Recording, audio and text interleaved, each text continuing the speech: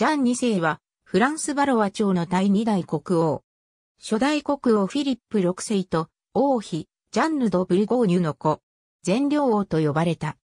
王太子時代の1332年に、ボヘミア王ヨハンの娘ボンヌと結婚し、王太子、シャルル、アンジュ公、ルイ、ベリー公ジャン、ブルゴーニュ公フィリップらをもうけたが、ボンヌは、夫の即位前の1349年に、国死病で死去した。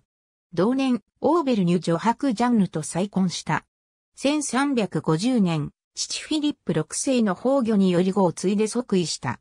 当時のフランスは、イングランドとの百年戦争の渦中にあり、ジャン2世は、父の意志を継いで、イングランドに対抗した。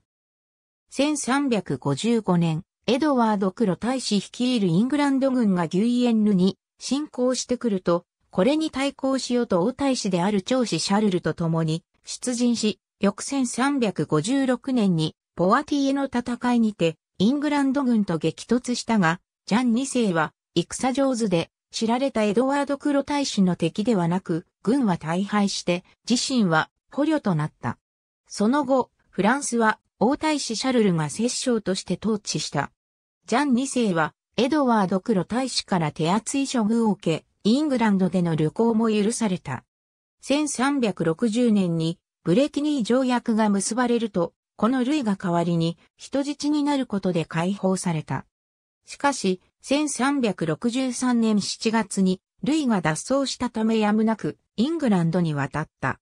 1364年に、ロンドンにて、旅衆のままで没し、後をシャルルが継いだ。最初の妻ボンヌとリュクサンブールとの間には4男、7女を設けた。二度目の妻ジャンル・ドーベルニュとの間には2女を設けたが、いずれも要請した。ありがとうございます。